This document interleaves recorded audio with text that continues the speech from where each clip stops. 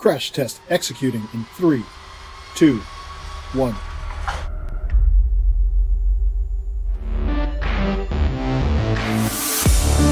So this is our uh, crash test barrier lab. The test vehicle starts at the end of the track, about 340 feet away. We attach the vehicle to the propulsion system to the steel cable here.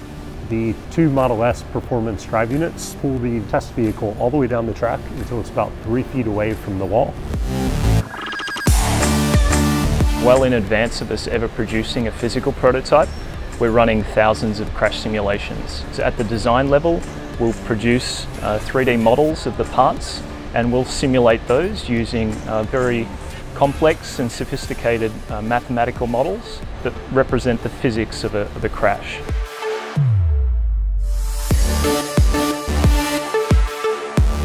One unique passive safety feature in the Model 3 is its specially designed front passenger airbag, which helps protect the occupant in oblique crashes where they might come in contact with the interior. Safety is, is a top priority, so I think that's really encouraging when you see feedback from people that have got into serious crashes and they give you that feedback that you've saved their lives or the lives of their loved ones is a really great feeling and, and shows that the work that we're doing is worthwhile.